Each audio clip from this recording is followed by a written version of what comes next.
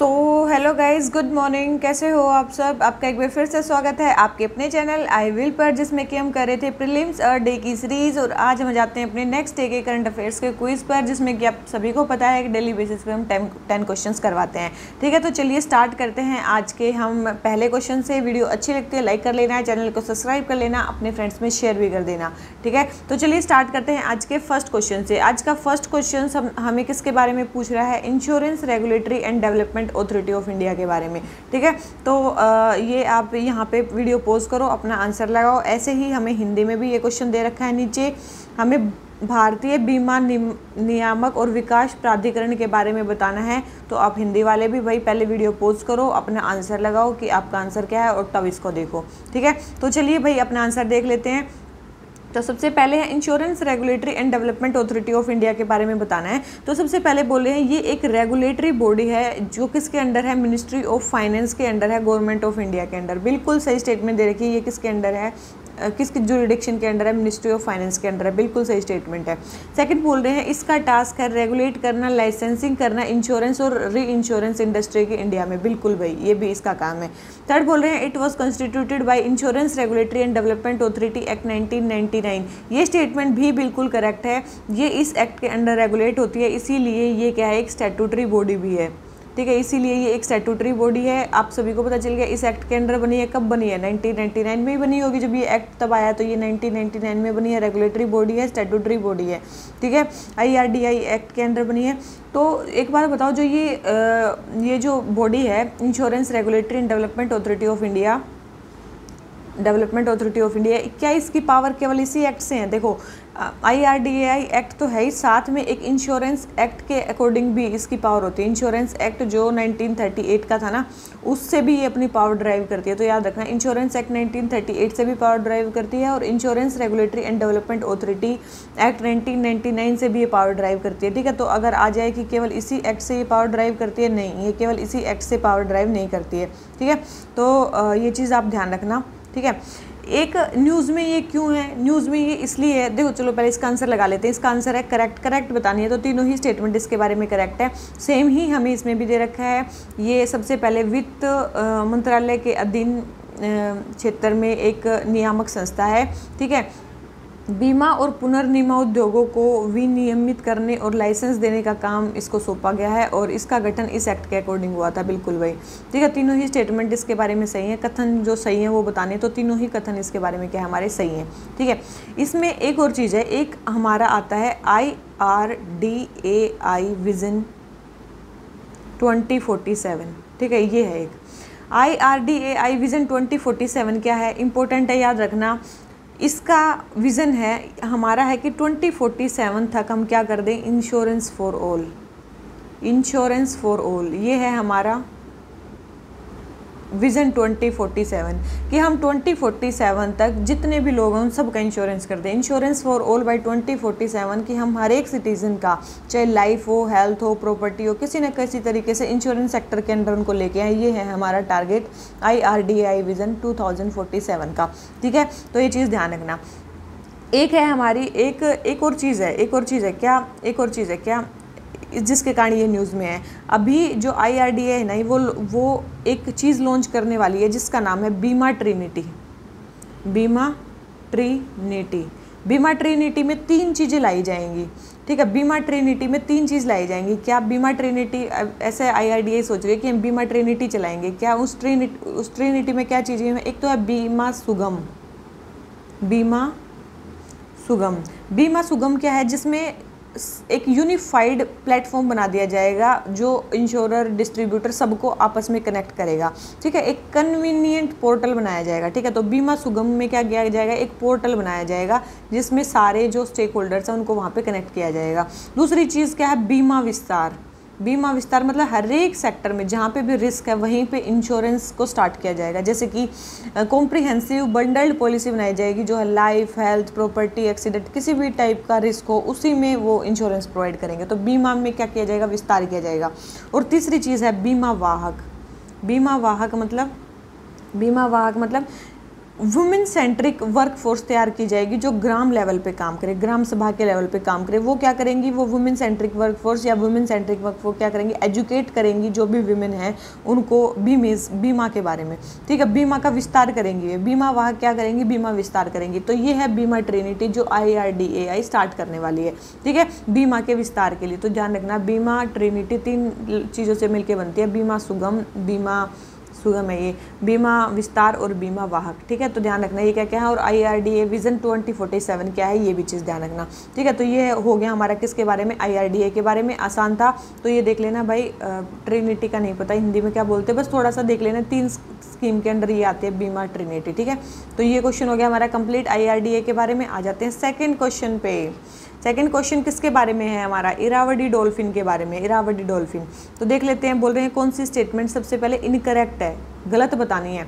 तो सबसे पहले Irrawaddy dolphin are euryhaline species of oceanic dolphin आप सभी को पता है, ये यूरी हेलाइन होती है, ज़्यादा मतलब जो नमकीन पानी है वहाँ पे रहती हैं ओशनिक डॉल्फिन भी हैं। बोल रहे हैं एंडेमिक है इंडियन ओशन में। देखो, ये एंडेमिक कहाँ पे होती है? बे ऑफ़ बंगाल रीजन और मेनली साउथ ईस्ट एशिया में, ना कि पूरे इंडियन ओशन में, ऐसा नहीं है। तो ये पूरे इंडियन ओशन में नहीं है Bay of Bengal South East Asia वाला जो रीजन है, वहाँ पे ये एंडेमिक होती है। तो ये स्टेटमेंट रोंग दे रखिए वैसे euryhaline species of oceanic dolphin ये होती हैं, ठीक है? तो हाफ़ स्टेटमेंट करेक्ट है हाफ़ स्टेटमेंट इनकरेक्ट है तो टोटली तो इनकरेक्ट हो गया, ठीक है? सेकंड बोल रहे हैं the protection of this dolphin is crucial to Ganga river system बोल रहे हैं, इनका जो सिस्टम है, वो क्रुशियल है गंगा रिवर सिस्टम के लिए। भाई, हिंदी में भी देख लो, ठीक है? इरावडी डॉल्फिन के बारे में आपको बताना था। ये बोल रहे हैं कि ये यूरी हेलाइन होती हैं। यूरी हेलाइन मतलब जो नमकीन पानी में ज़्यादा मतलब रहना पसंद करती हैं।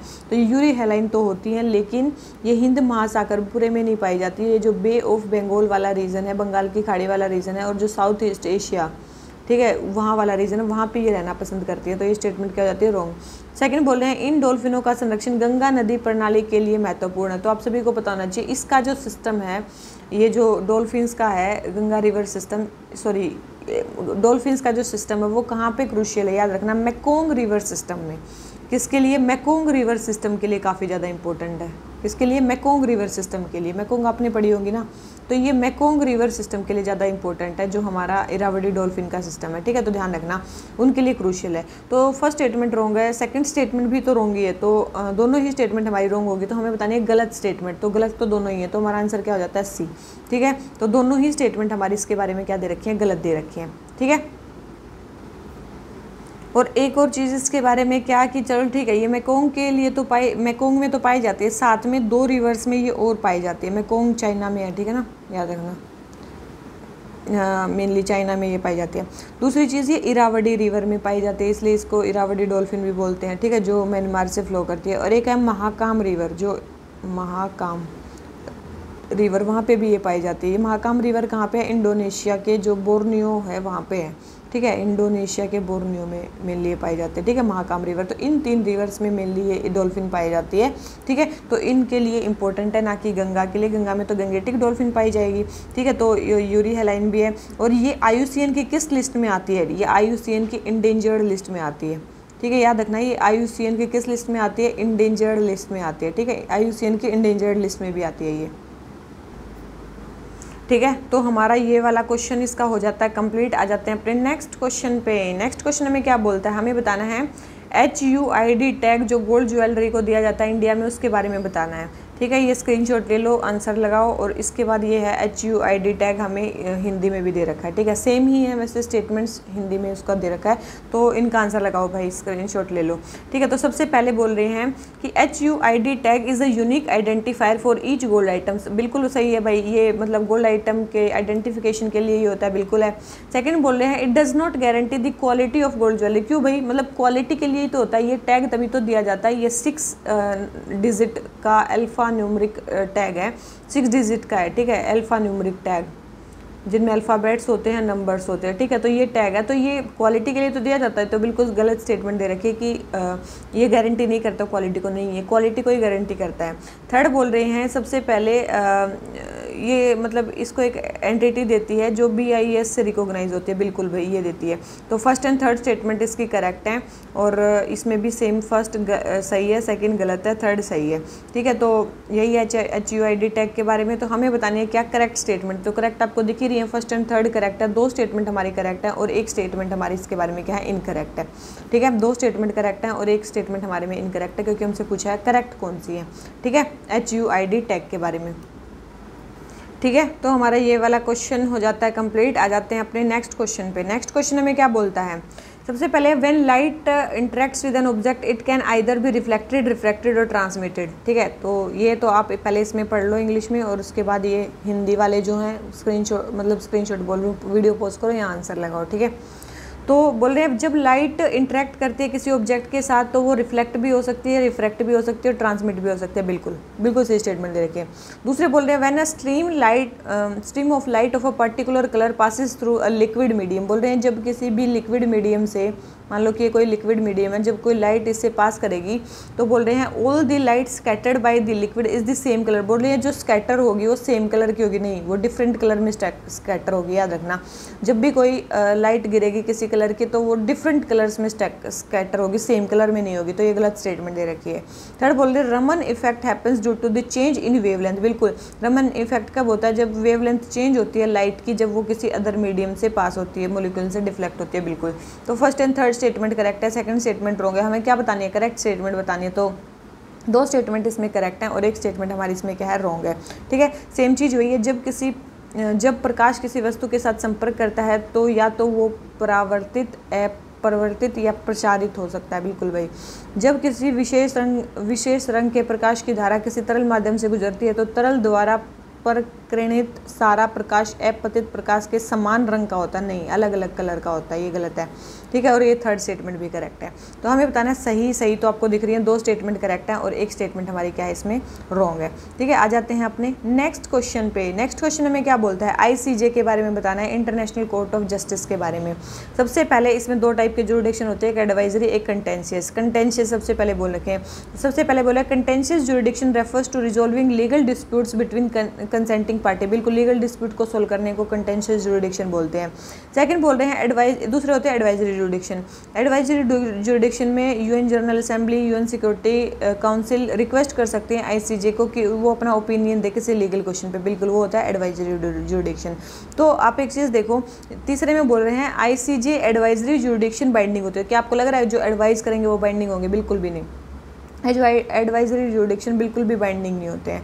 ठीक है, जबकि जो कंटेंशियस होते हैं, वो बाइंडिंग होते हैं। तो थर्ड स्टेटमेंट रॉन्ग होगी फ़र्स्ट एंड सेकंड स्टेटमेंट हमारी आईसीजे के बारे में करेक्ट है। हमें क्या बतानी है? करेक्ट स्टेटमेंट बतानी है। तो दिख रही है आपको दो स्टेटमेंट इसके बारे में क्या करेक्ट है। ऐसे ही सेम हमारा हिंदी में भी दे रखा है। आई अंतर्राष्ट्रीय न्यायालय के बारे में बताना है। ये बोल रहे हैं विवादस्पद क्षेत्राधिकार क्या होता है? उसका तात्पर्य, उसका मीनिंग बता रखा है कि कानूनी विवादों को हल कर, राज्यों के बीच कानूनी विवादों को हल करने से है सलाहकार क्षेत्राधिकार के तहत मतलब सलाहकार चीज़ों में क्या किया जाता है? जो यूएन जनरल असेंबली है और जो यूएन सिक्योरिटी काउंसिल है, वो क्या करेंगी? अपनी राय लेंगी आईसीजे से। ये स्टेटमेंट क्या है? बिल्कुल सही है और थर्ड बोल रहे हैं, सलाहकारी जो सलाहकारी राय है वो बाध्यकारी है। नहीं, वो बाध्यकारी नहीं है। ठीक है, वो बाध्यकारी नहीं है, वो गैर बाध्यकारी है। ठीक है तो थर्ड स्टेटमेंट रॉन्ग है first and second statement correct है। हमें बताने करेक्ट स्टेटमेंट तो दो स्टेटमेंट हमारी करेक्ट है, एक स्टेटमेंट हमारी क्या है, इसके बारे में रॉन्ग है। ठीक है?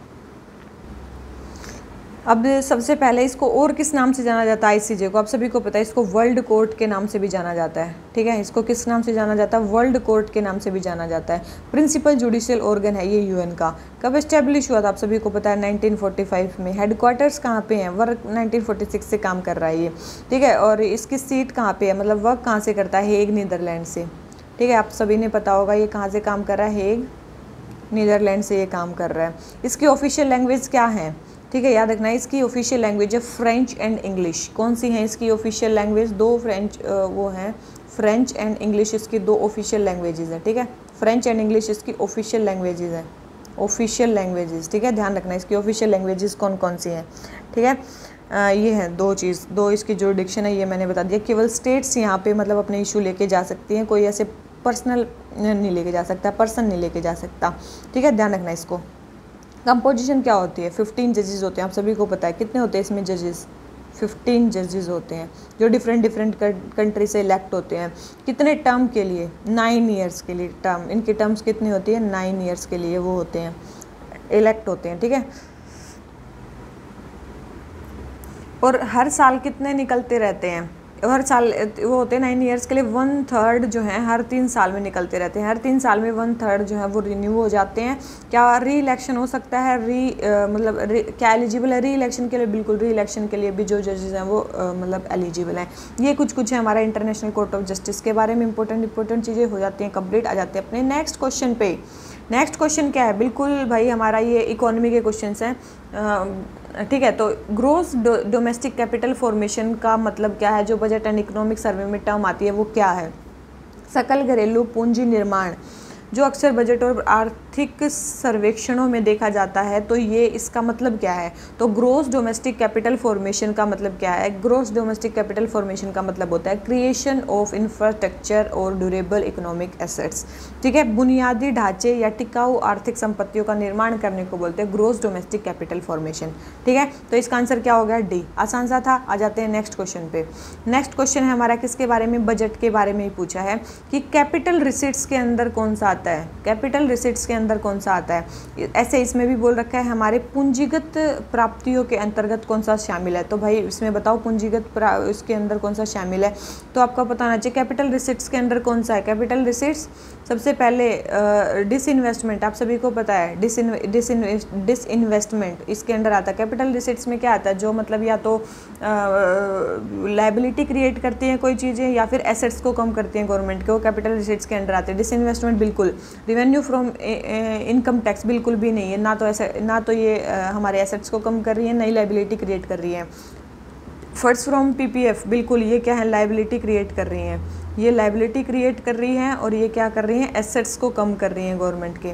ठीक है, उनको बोलते हैं कैपिटल ये दो ही डेफिनेशन है इसकी। तो फ़र्स्ट एंड थर्ड जो आ जाती है, वो हो जाती है हमारी कैपिटल रिसेट्स में और fourth interest and dividend on government investment बिल्कुल भी नहीं। ये भी इसमें नहीं आता, क्योंकि ये भी, ये तो गवर्नमेंट की इनकम को एसेट्स को क्रिएट कर रहा है, ठीक है?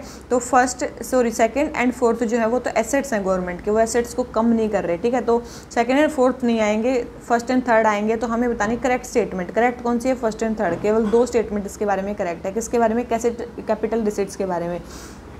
मैंने डेफिनेशन आपको बता दी। ठीक है, पूंजीगत प्राप्तियों के बारे में फ़र्स्ट सही है थर्ड सही है सेकंड रॉन्ग है, भाई आपका और फोर्थ भी रॉन्ग है। ठीक है तो हमें सही विकल्प बताने हैं तो दो विकल्प सही हैं और दो हमारे रॉन्ग है। ठीक है तो ये क्वेश्चन हो जाता है हमारा कंप्लीट आ जाते हैं अपने नेक्स्ट क्वेश्चन पे। फिर आ जाता है हमारा रिवेन्यू रिसिट्स के बारे में। अभी मैंने बताया कैपिटल रिसिट्स दो चीज़ें होती हैं, वहाँ पे लाइबिलिटी भी क्रिएट होती है या फिर वहाँ पे एसेट्स कम हो जाते हैं गवर्नमेंट के। रिवेन्यू रिसिप्ट्स में ये बिल्कुल सही स्टेटमेंट है, ना तो यहाँ पे लाइबिलिटी क्रिएट होती है और ना ही कोई एसेट्स रिड्यूस होते हैं। बिल्कुल सही स्टेटमेंट है। सेकंड बोल रहे हैं revenue receipts lead to reduction in government asset अभी तो बताया यहाँ पे कोई गवर्नमेंट के एसेट रिड्यूस नहीं होते हैं। थर्ड बोल रहे हैं, ये रेगुलर होती हैं और रिकरिंग होती है। बिल्कुल, ये रेगुलर और रिकरिंग होती हैं रेवेन्यू रिसिट तो हमें करेक्ट स्टेटमेंट बतानी है। करेक्ट क्या है?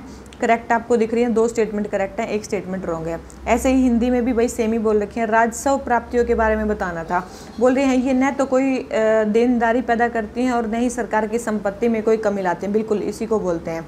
सेकंड बोल रहे हैं, राजस्व प्राप्तियों से सरकार की संपत्ति कमी आती है। सेकंड स्टेटमेंट यही तो है, नहीं, कोई कमी नहीं आती है। थर्ड बोल रहे हैं, ये प्रकृति में नियमित और आवर्ती होते हैं। बिल्कुल, ये होते हैं भाई। हमें सही कथन बताना तो दो स्टेटमेंट करेक्ट है, एक स्टेटमेंट हमारे इसके बारे में क्या रॉन्ग है। ठीक है? आ जाते हैं अपने नेक्स्ट क्वेश्चन पे। नेक्स्ट है हमारा काउंटर साइक्लिकल फ़िज़िकल पॉलिसी के बारे में बताना है। किसके बारे में? काउंटर साइक्लिकल फ़िज़िकल पॉलिसी और एक होती है प्रो साइक्लिकल फ़िज़िकल पॉलिसी ऐसे ही हमें इसमें भी हिंदी में भी दे रखा है। प्रति चक्रीय राजकोषीय नीति और एक दूसरी नीति कौन सी है? प्रो साइक्लिकल राजकीय नीति। देखो, ये दो टाइप की होती है। जो काउंटर साइक्लिकल फ़िज़िकल पॉलिसी आप सभी को पता है, उसमें क्या करेंगे हम? उल्टा। काउंटर मतलब क्या करेंगे? उल्टा। जैसे कि अगर मान लो हमारा बूम पीरियड चल रहा है ठीक है, बूम पीड चल रहा है तो गवर्नमेंट क्या करेगी? गवर्नमेंट क्या करेगी? सब कुछ अच्छा चल रहा है तो गवर्नमेंट क्या करेगी? अपनी स्पेंडिंग को डिक्रीज़ कर देगी, क्योंकि सब तो अच्छा चल ही रहा है तो गवर्नमेंट अपनी स्पेंडिंग को रिड्यूस कर देगी। उसको बोलते हैं क्या? और अगर हमारी क्राइसिस चल रही है तो गवर्नमेंट अपनी स्पेंडिंग को क्या कर देगी? इंक्रीज़ कर देगी। ये है हमारा काउंटर साइक्लिकल जैसा भी इकोनॉमी में चल रहा है, उसके अपोजिट जब गवर्नमेंट करने लगती है तो उसको बोलते हैं काउंटर साइक्लिकल प्रो साइक्लिकल का मतलब होता है, जब हमारा मान लो इकोनॉमी में बूम पीड़ चल रहा है तो गवर्नमेंट भी क्या करेगी? और ज़्यादा स्पेंडिंग बढ़ा देगी। उसको बोलते हैं प्रो साइक्लिकल साइक्लिकल जैसा साइकिल चल रहा है वैसा ही गवर्नमेंट करेगी। जैसे हमारी क्राइसिस चल रही है तो क्राइसिस चल रही है तो गवर्नमेंट क्या करेगी? क्राइसिस में और पैसे रिड्यूस कर देगी। उसको बोलते हैं प्रो साइक्लिकल फ़िज़िकल पॉलिसी ठीक है? तो समझा दिया मैंने क्या होती है? अब देखो हमें बताना है, बोल रहे हैं काउंटर साइक्लिकल फ़िज़िकल पॉलिसी बहुत ज़्यादा ज़रूरी हो जाती है जब इकोनॉमिक क्राइसिस आती है। तो बिल्कुल सही स्टेटमेंट है, जब क्राइसिस आती है तो जब मान लो क्राइसिस आती है तो जब गवर्नमेंट स्पेंडिंग बढ़ाएगी तभी तो इकोनॉमी हमारी बूम करेगी बिल्कुल। तो ये बहुत ज़रूरी है। सेकंड बोल रहे हैं काउंटर साइक्लिकल फ़िज़िकल पॉलिसी ऐसी है जहाँ पे फ़िज़िकल पॉलिसी हम रेनफोर्स करते हैं बिज़नेस साइकिल में एक्सपेंशन से। एंड देखो, इसमें क्या बोल रहे हैं? एक्सपेंशन ड्यूरिंग गुड्स टाइम देखो, हमें, हमने, मैंने अभी बताया, जब बूम पीरियड चल रहा है अच्छा टाइम चल रहा है, अच्छे टाइम में हम गवर्नमेंट क्या करेगी? स्पेंडिंग को रिड्यूस करेगी। और इसने क्या लिख क्या बोल रखा है? गुड टाइम्स में एक्सपेंशन करेगी गवर्नमेंट नहीं भाई गवर्नमेंट क्या करेगी? अपनी स्पेंडिंग को रिड्यूस करेगी। ठीक है, यही होती है काउंटर साइकिलिंग मतलब उल्टा करेगी गवर्नमेंट अच्छा टाइम चल रहा है तो अपनी स्पेंडिंग को घटा देगी। ठीक है, उसको बोलते हैं। और अगर बुरा टाइम चल रहा है तो क्या करेगी? अपनी स्पेंडिंग को बढ़ा देगी। मतलब देखो, ये रिसेशन के टाइम पर क्या करेगी? बढ़ा देगी। घटाएगी नहीं, बढ़ा देगी। तो ये गलत दे रखा है हमें। ठीक है तो ये हमें क्या दे रखा है? गलत दे रखा है, उल्टा दे रखा है। ये मैंने आपको समझा दी काउंटर साइक्लिकल फ़िज़िकल पॉलिसी क्या होती है। बस एक लाइन में ये है ये है काउंटर साइक्लिकल फ़िज़िकल पॉलिसी फिर आ जाती है हमारी pro cyclical fiscal policy pro cyclical में बोल रहे हैं कि stabilises the business cycle by being contractionary in good time देखो, अगर अच्छा टाइम चल रहा है प्रो साइकिल में अगर अच्छा टाइम चल रहा है तो गवर्नमेंट क्या करेगी? और ज़्यादा बढ़ाएगी। तो ये बोल रहे हैं, यहाँ पे कॉन्ट्रैक्शन करेगी। नहीं कॉन्ट्रैक्शन नहीं करेगी, और ज़्यादा बढ़ाएगी। और ये बोल रहे हैं रिसेशन में ये एक्सपेंशन करेगी। अभी मैंने दिखाया, जब क्राइसिस चलेगी तो गवर्नमेंट क्या कर देगी घटा देगी एक्सपेंशन नहीं करेगी तो ये स्टेटमेंट क्या रॉन्ग है, ठीक है? तो ये स्टेट थर्ड स्टेटमेंट भी रॉन्ग दे रखी है सेकंड स्टेटमेंट भी रॉन्ग दे रखी है फ़र्स्ट स्टेटमेंट हमारी करेक्ट दे रखी है तो हमें बतानी करेक्ट स्टेटमेंट तो केवल एक स्टेटमेंट हमारी इसके बारे में क्या करेक्ट है, ठीक है? तीनों स्टेटमेंट में से। सेम हमारा इसमें भी है कि प्रति चक्रीय राजकोषीय नीति आर्थिक संकट के दौरान बहुत इंपॉर्टेंट होती है, भाई हाँ बहुत महत्वपूर्ण होती है। सेकंड बोल रहे हैं प्रति चक्रीय राजकोषीय नीति है काउंटर साइक्लिकल फ़िज़िकल पॉलिसी बोल रही है। राजकोषीय नीति अच्छे समय के दौरान विस्तारवादी। देखो, जब यहाँ पे अच्छा समय, यहाँ पे अच्छा समय चल रहा होगा ना तो गवर्नमेंट क्या करेगी? काउंटर साइक्लिक में अपनी जो चीज़ें हैं, अपनी जो स्पेंडिंग है, विस्तार है, खर्चा है, उसको कम कर देगी। अपने खर्चे को कम कर देगी। जब अच्छा टाइम चल रहा होगा, अपने खर्चे को कम कर कर देगी, और जब बुरा टाइम चल रहा होगा तो अपने खर्चे को बढ़ा देगी। ये है काउंटर साइक्लिकल या प्रति चक्रीय राजकोषीय नीति। और प्रो साइक्लिकल नीति में क्या होता है? जब अच्छा टाइम चल रहा होगा, जब अच्छा टाइम चल रहा होगा तो और ज़्यादा पैसे डालेगी गवर्नमेंट और जब बुरा टाइम चल रहा होगा तो पैसे और ज़्यादा घटा देगी। ये है प्रो साइक्लिकल जैसा साइकिल चल रहा है, वैसा ही करना होता है प्रो साइक्लिकल और प्रति चक्र ये क्या होता है? उल्टा करना। अच्छा समय चल रहा है, और घटा दो। मतलब अच्छा समय चल रहा है तो स्पेंडिंग को या खर्चे को और कम कर दो, उसको बोलते हैं। ठीक है? तो ये दोनों गलत दे रखे हैं हमें स्टेटमेंट्स तो second and third statement wrong है। फ़र्स्ट स्टेटमेंट हमारी करेक्ट है तो हमें बताने सही स्टेटमेंट तो सही केवल एक स्टेटमेंट है इसमें। ठीक है? तो ये क्वेश्चन भी हो गया हमारा कंप्लीट आ जाते हैं अपने लास्ट क्वेश्चन पे। लास्ट क्वेश्चन है हमारा एक्सपेंशनरी फ़िज़िकल पॉलिसी के बारे में। बोल रहे हैं एक्सपेंशनरी फ़िज़िकल पॉलिसी के क्या क्या एक्सपेंशन मतलब गवर्नमेंट की गवर्नमेंट की स्पेंडिंग इंक्रीज होना है। एक्सपेंशन मतलब गवर्नमेंट अपनी स्पेंडिंग जब इंक्रीज करती है, उसको बोलते हैं एक्सपेंशनरी फ़िज़िकल पॉलिसी ठीक है तो गवर्नमेंट अपनी स्पेंडिंग कम बढ़ाएगी। यही सेम है उसमें। विस्तारवादी राजकोषीय नीति का मतलब क्या है? जब सरकार अपने खर्चे में वृद्धि करती है, जब ज़्यादा से ज़्यादा खर्चे करती है गवर्नमेंट उसको बोलते हैं विस्तारवादी राजकोषीय नीति। तो बताओ भाई कौन सी है? तो सबसे पहले बोल रहे हैं टैक्स रिबेट इन कंपनीज़ देखो, अगर टैक्स रिबेट देती है कंपनीज़ को तो बिल्कुल ये तो अपने अपने पैसे में से टैक्स में छूट दे रही है ना, बिल्कुल। तो ये भी विस्तारवादी होगी। सब्सिडी देना, बिल्कुल ये भी विस्तारवादी होगी। गवर्नमेंट अपने अपने अपने स्पेंडिंग खर्च कर रही है ना, अपने पैसे में से कुछ। पैसे वो काट के सब्सिडी दे रही है बिल्कुल। तीसरे बोल रहे लोन प्रोवाइड करना हाई इंटरेस्ट रेट पे बिल्कुल भी नहीं। भाई हाई इंटरेस्ट रेट पे अगर लोन प्रोवाइड करेगी तो कौन लेगा उनसे? ठीक है, ये तो अपने पैसे कमाने के लिए कर ना गवर्नमेंट नहीं। अगर लो इंटरेस्ट रेट पे देगी तब हम मान सकते हैं कि गवर्नमेंट स्पेंडिंग बढ़ा रही है। तो थर्ड स्टेटमेंट रहूँगा first and second statement correct है। हमें बताने करेक्ट स्टेटमेंट तो केवल दो स्टेटमेंट इसके बारे में करेक्ट है। ठीक है, बोल रहे हैं कंपनियों में टैक्स की छूट बिल्कुल भाई ये खर्चे में आएगा गवर्नमेंट के। सब्सिडी बढ़ाना ये भी सरकार के, उसमें आएगा खर्चे में, और तीसरा है, उच्च ब्याज दरों पर ऋण उपलब्ध कराने। कम कम ब्याज दरों पर ऋण उपलब्ध करवाएगी ना गवर्नमेंट, तब उसके खर्चे में वृद्धि मानी जाएगी। ज़्यादा ब्याज दरों पे करेगी तो वो तो कमाने के लिए कर रही है ना तो ये स्टेटमेंट रॉन्ग है। तो थर्ड स्टेटमेंट रॉन्ग है first and second statement correct है, हमें सही बतानी है तो आपको दिख रही होगी दो सही है, हमारी एक गलत है, ठीक है? तो ये हमारे टोटल आज के जो दस क्वेश्चन हो जाते हैं, वो हो जाते हैं कंप्लीट गाइज़ अगर आपको ये वीडियो थोड़ी सी भी अच्छी लगी हो तो वीडियो को लाइक कर देना चैनल को सब्सक्राइब ज़रूर कर लेना, ठीक है? और उसके अलावा अपने फ्रेंड्स में इसको शेयर भी कर देना, ठीक है? तो इसी तरीके से डेली बेसिस पे इस सीरीज़ के साथ जुड़े रहो डेली बेसिस पे क्वेश्चन करो और वीडियो को ऐसे ही लाइक करते रहो और हमारे इनिशिएटिव को इतना प्यार देते रहो। तो so guys thank you very much for watching the video for liking the video for sharing the video and for loving our initiative thank you very much guys